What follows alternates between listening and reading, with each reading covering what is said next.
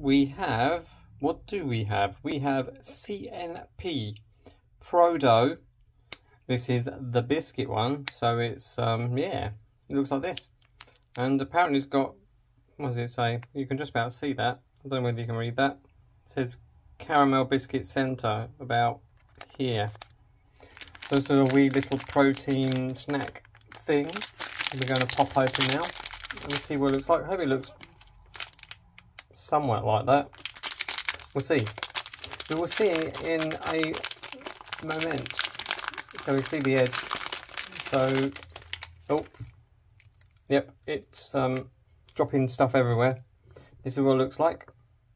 It does have a bit of biscuit on the top. Yeah, I think they're trying to make it, they've got donut on it, but it doesn't look anything like that. Yeah. So what does it smell? It smells a bit like um, Biscoffy type biscuits, but some of them are falling down here. There's crumbs everywhere. We're just going to dive in and see what it's like. We ready? I'm not quite, but I'm going to go anyway.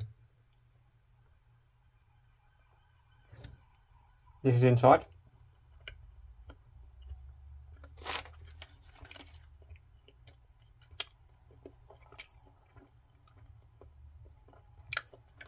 Quite chewy. It does have some of the flavour. And like lots of these um, protein things, it's a bit dry. The flavour's not too bad. Um, it's alright. In the price, which I should have put in at some point. I mean, towards the end of the video not too bad. Um, it's just got all the things about protein bars. I was just intrigued. I'm not sure how much it really tastes like the biscuit one. A little bit, a little bit for sure.